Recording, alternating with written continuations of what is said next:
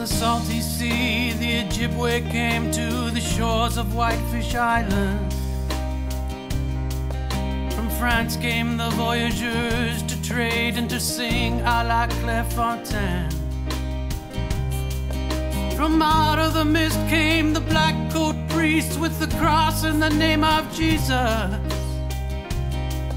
Then the redcoats came, and the words that soon echoed in the woods were English.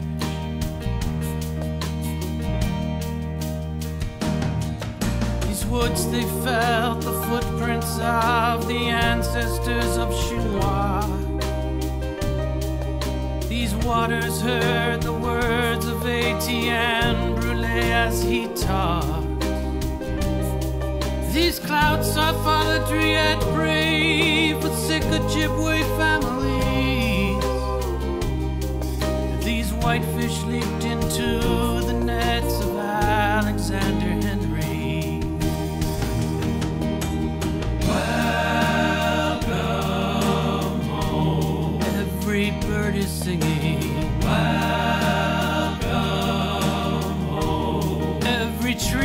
Welcome home. Every river is an endless home. Every rock and every stone has a voice all of its own. And I hear them saying, Welcome home.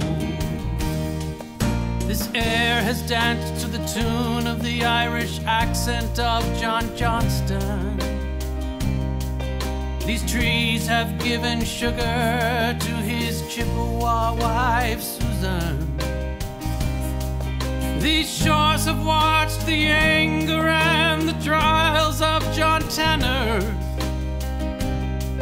These flowers sighed as Jane Schoolcraft wept for the son who'd left her.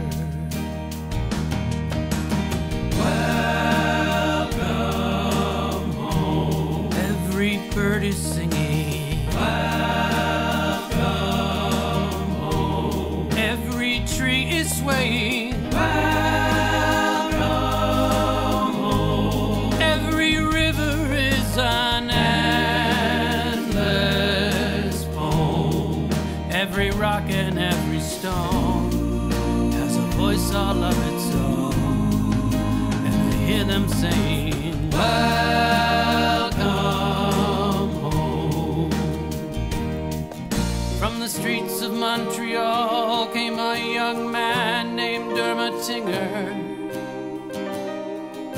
From Sandy Lake he brought his wife and he made a stone house for her.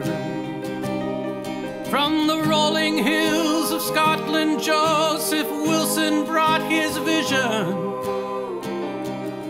From a dedicated, angry mind, Judge John Prince brought decision.